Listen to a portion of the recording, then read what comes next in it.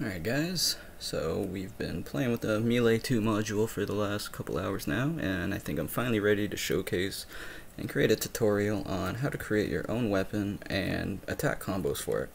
So this is what I got here, and I got some combos, one, two, three, and four, and it's pretty basic stuff, but I haven't really seen anything else on it not even by the developers yet, so I thought I'd throw this out there just to get people started with it who can't figure it out.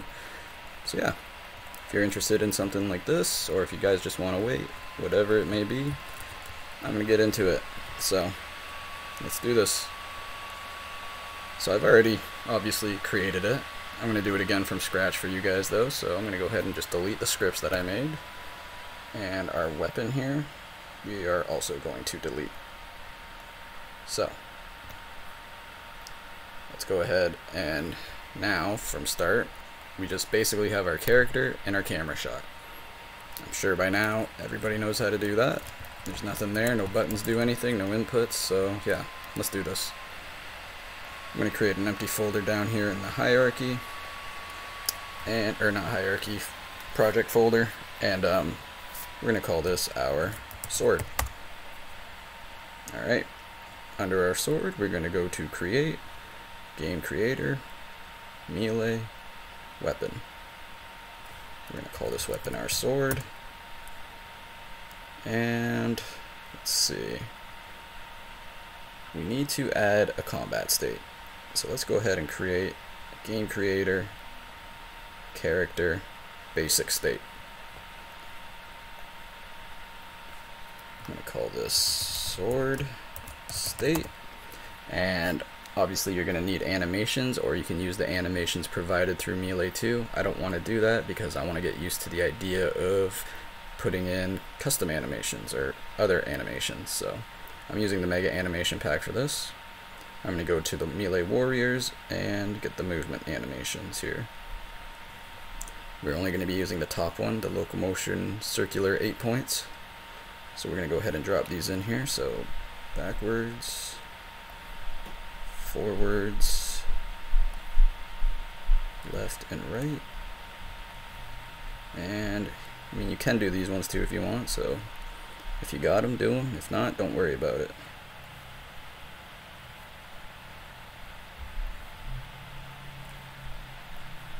And my mistake last time, I couldn't figure out why it wasn't working, because I didn't put an idle animation in, and I thought I completely screwed everything up, but that wasn't the case, so don't forget your idle animation. Combat idle. There we go. If you have entry and exit animations, you might as well throw them in there. I don't think this actually comes with any, which sucks, but that's alright. Yeah, no, I don't think there is any. It's unfortunate. But it's whatever. Okay. So that's it for animations for now. Not completely done with them, but for now. So on our sword, we're going to go ahead and drop the sword state in there.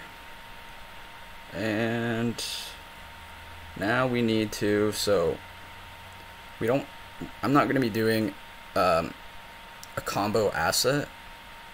I'm going to be creating an embedded one, which basically allows you to add um, different I don't even know how to explain it yet because it's still all new to me, but we're going embedded, not asset, because I'm not making a combo asset. I'm making skills. And then I'm going to create this four times over. So the first one is going to be this one, new skill, and the other three are going to be sub-skills of that skill. Okay. And that is going to be under our sword. We are going to create game creator, melee, skill. This is going to be attack one. And because I want my character to move as he attacks, I am going to be putting on an avatar mask of an upper body. If you don't have that, or don't know what to do with that, just go to motion and use a root motion. They're going to be stationary when they attack, so, but I want to move, so. For my first attack, let's see. I've got this laid out already in my head, so I wanted the um, one-handed attack one for my first one. Alright, with the upper body on, and that is it. I'm also going to turn off the trail for it because I don't have any trails. Um, I'm not going to put in any effects now because this is just going to be a simple video. Strikes, use striker, we're going to be using a striker by ID. We haven't made the striker yet, but it's going to be called sword striker. And charge, we don't need anything for that. So just the sword striker ID. Um, and the animations. That's all you'll need for that. Now we can go ahead and duplicate this three more times. And it should have the same sword striker, perfect. All we need to do now is just change the animations for that. So now I'm going to go number two. And then for the third one will be number uh, four? No, three. Yeah, should be three, right? Sure. And number four, I'm going to use, uh, it's going to be under the long-handed animations here, and it's going to be the fourth one, because that's a spinning animation. It's a good way to end a combo, visually saying. Um, yeah, so there's our four attacks. Now we're going to go back into our sword and drop these in here. So attack one will go right here. Attack two. Three. And four. And these are under our A category, and you'll see why in a minute. So now, we have everything we need in here. Now we just need to make a prefab to go in there as well. So I'm going to go ahead and create an empty. Whoops.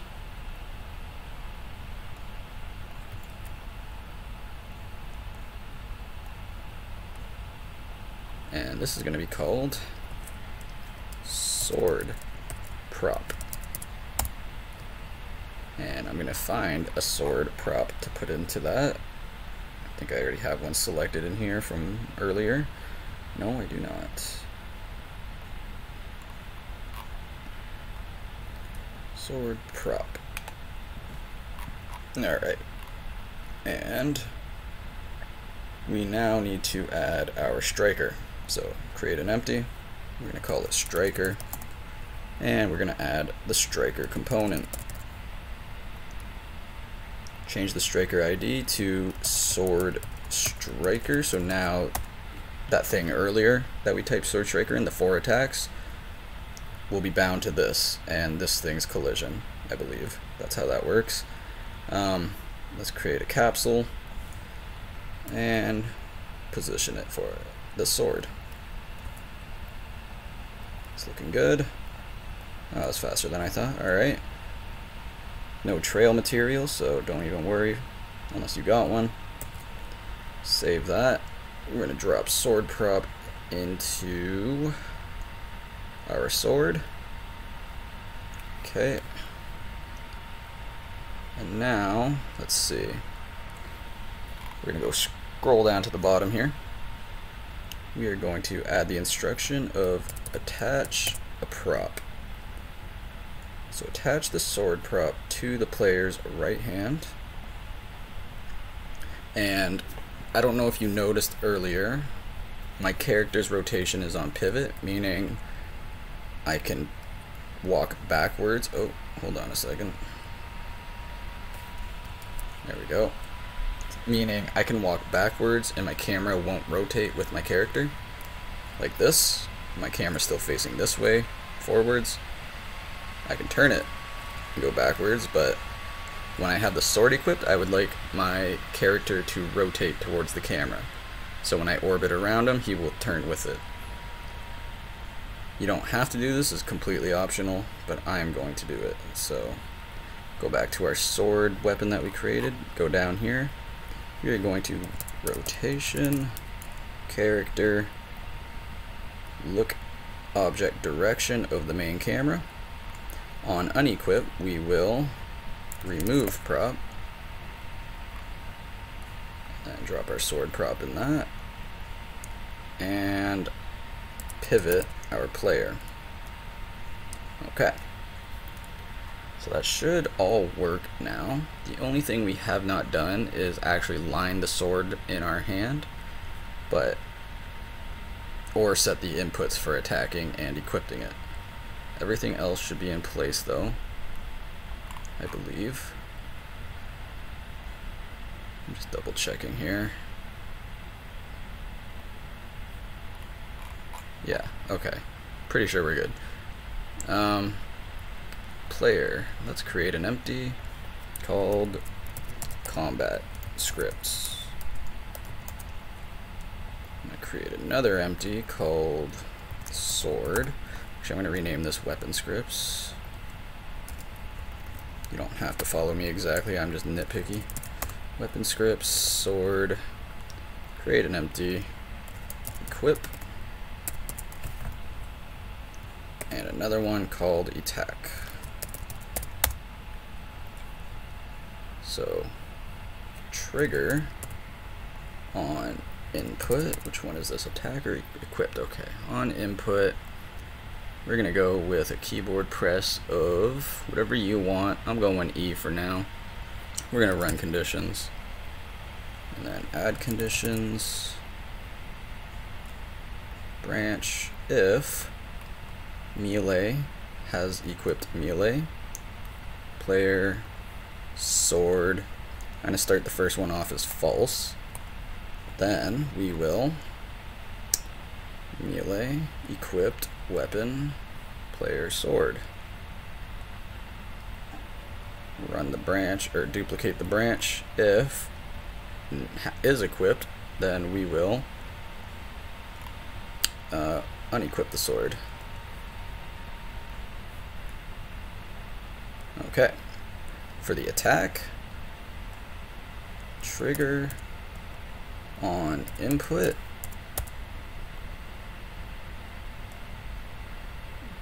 I'm to go mouse left. We will execute input of A. And as you can remember, our sword is tied to A. Or sorry, our attacks are tied to A, I think. No, input.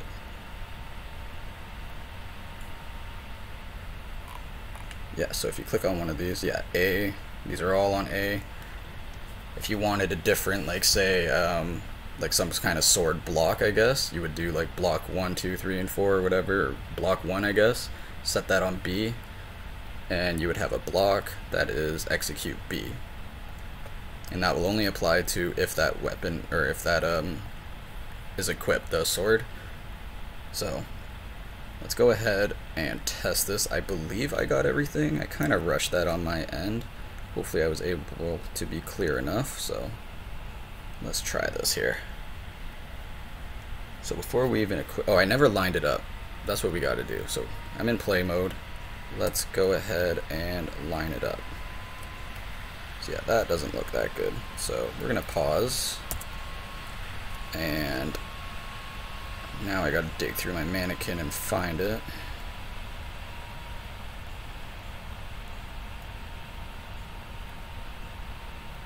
Okay, so here we go.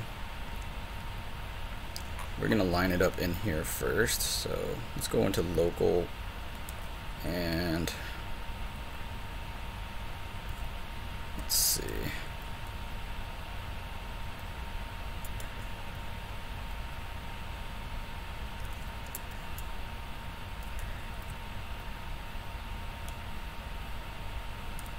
Oh my goodness.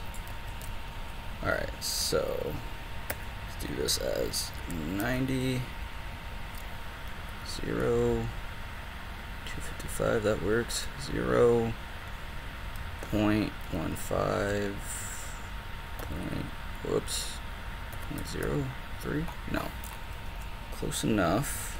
Let's get it in the hand and just tinker those adjustments a little more. Okay, so it's not going through the thumb there. Doesn't have to be exact. Probably going to be different per character model anyways, but that's looking pretty good on my end. Let's just make it a little more simple to copy over. 0496. Okay. So we're going to copy these numbers over. So I'm going to go to sword that I created and under the attach prop we will type in those values. So x and x, so 0.004 and minus 255. So 0.004 minus 255. Alright, y values 0.07 and 0. 0.07 and 0 0.022 96 022 and 90, 96 all right and let's go ahead and put it away pull it out. There it is nice and lined up. I'm gonna stop it and then play it one more time to be safe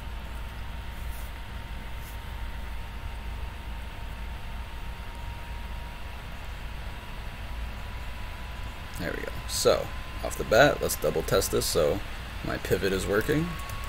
Alright, no sword in sight. I will press equip sword. There it is. Now I turn towards the camera. And we should have a four attack combo. So, one, two, three, and four. My third attack is not right though. I didn't want that one. I wanted, I guess, attack number four. But and also I can move and do it which is what I wanted. We're gonna press E and put it away. And our pivot is back. That is exactly what I'm looking for except for my third attack. That basically concludes this video though. I'm just gonna go ahead and switch this real fast to number four I believe. Yes that's the one I wanted.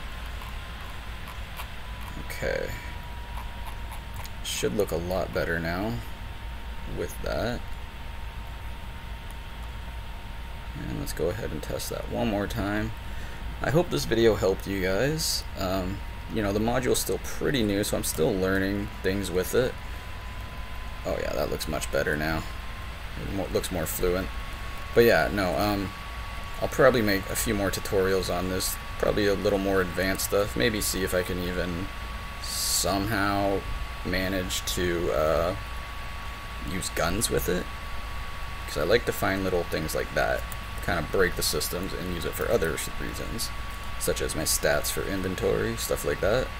So I want to fool around with it for the next couple days, probably put a little break on my personal project, because this is exciting stuff. New module came out, not a lot of tutorials on it, if not any, not even by the developers themselves, so again, hope this helped, hope you guys enjoyed, and stay tuned for the next one, whatever that may be, whether it's this or something else. I might even incorporate it with stats. So, yeah. Hope you guys liked it. Thank you guys for watching, and have a good one.